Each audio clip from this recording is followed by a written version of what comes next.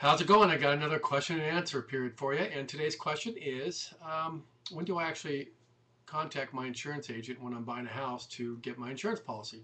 So the answer to that question is is uh, when you open up escrow, you should go ahead and start the process of going out and picking three uh, separate insurance companies to give you bids and have them deliver them to you. And they can do that via email.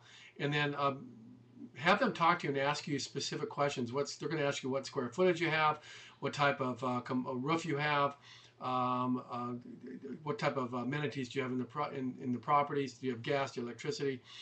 What size is your lot? They, they're going to ask you a series of questions, and by doing that, they're going to be able to determine uh, what insurance policy they should insure you on based on uh, the purchase price and based on the square footage and based on the amenities that you have. And then they might uh, try to upsell you on, um, on other features and functions of insurance policies. So that's why you should get three insurance policies just to check and see and make sure that you pick one that works for you and that you like and uh, fit your needs. So um, you know, and it's real easy to do. You can go on the net and do it. You can uh, you can go locally. Another way to do it is ask uh, ask your agent if they know of anybody that uh, that that, uh, that, that does a good job that they've seen, and uh, or ask your friends and family. You know who do they use? So um, once that's done, then you'll have your insurance. And when you get your insurance policy, all we need is what's called a declaration page sent over to escrow.